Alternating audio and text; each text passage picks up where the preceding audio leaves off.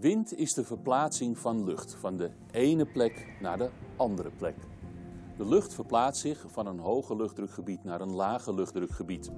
Dat gebeurt niet in een rechte lijn, want de aarde draait en die zorgt voor een afwijking. Hoe groter het luchtdrukverschil is, hoe harder het waait. Voor onze weersverwachtingen maken we gebruik van windtermen. Die windtermen die zijn gekoppeld aan de Beaufort-schaal.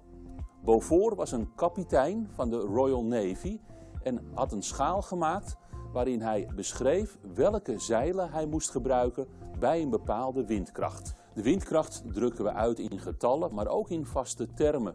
Zo is windkracht 3 bijvoorbeeld een matige wind en windkracht 6 een krachtige wind. Als het stormt, dan hebben we het over windkracht 9.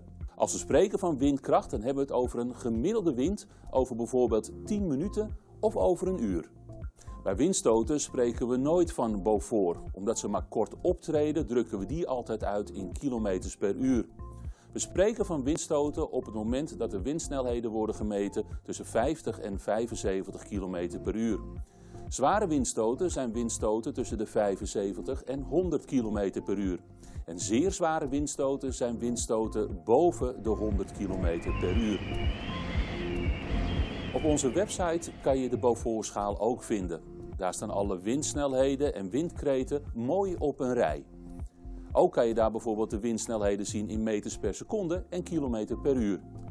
Heel handig als je naar de weersverwachtingen luistert.